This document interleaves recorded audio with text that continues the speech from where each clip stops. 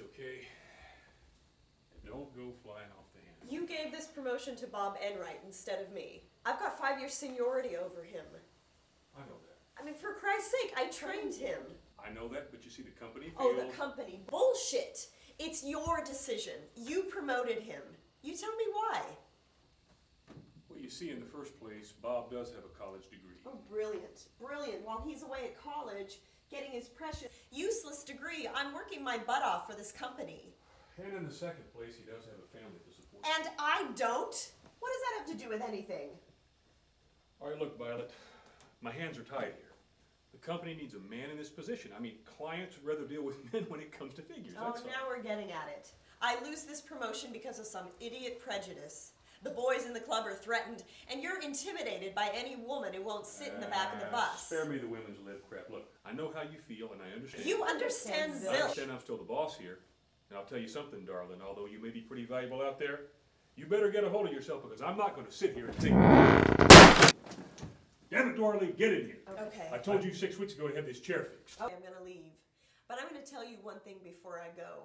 Don't you ever refer to me as your girl again. What in God's name are you talking about? Doralee, what are we going to do about this I'll chair? tell you what I'm talking about. I'm no girl, I'm a woman. Do you hear me? I am not your wife, or your mother, or even your mistress. What? I am your employee. And as such, I expect to be treated equally. With a little dignity and a little respect. What do you mean, mistress? Never mind, she's just a little upset. Oh, come off it, Doralee. The whole company knows you two are having an affair. Who's been saying we're having an affair? Who's been saying it? He has. What? Violet, where are you going? I'm going to get drunk.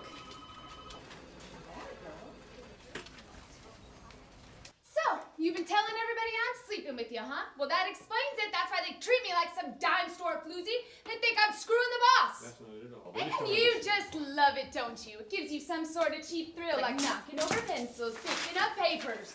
Take it easy, honey. Let's Get your scummy hands off Let's me. not get excited. Look, I've been straight with you from the moment I got here. I put up with your pinching and staring and chasing me around the desk because I need this job. But this is the last straw. Let's just sit down and talk about this. Look, I got a gun out there in my person. Up until now, I've been forgiving and forgetting because the way I was brought up. But I'll tell you one thing. If you ever say another bad word about me or make another indecent proposal, I'm going to get that gun of mine and I'm going to change you from a rooster to a hen in one shot.